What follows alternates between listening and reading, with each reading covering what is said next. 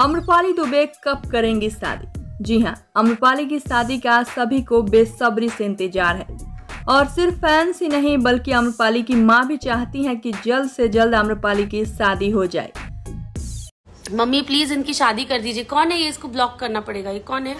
I agree I agree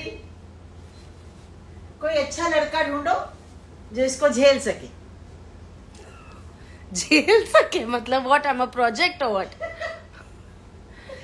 हाँ sorry हाँ. लेकिन अम्रपाली है कि शादी करने का नाम ही नहीं ले रही। तो क्या कारण है कि अम्रपाली शादी नहीं करना चाहती?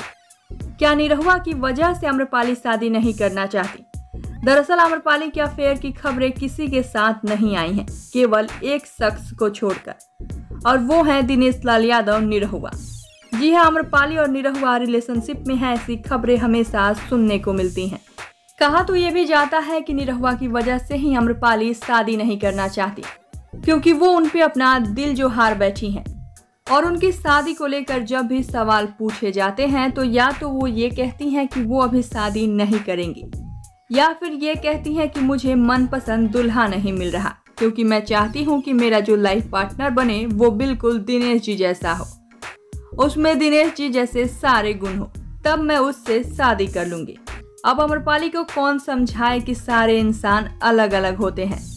किसी एक के जैसा दूसरा इंसान नहीं होता। अगर अमरपाली ऐसे ही लड़के ढूंढती रही तो हो चुकी उनकी शादी। वेल, इस खबर पर आप सबकी क्या है राय, बताइए हमें नीचे कमेंट बॉक्स में।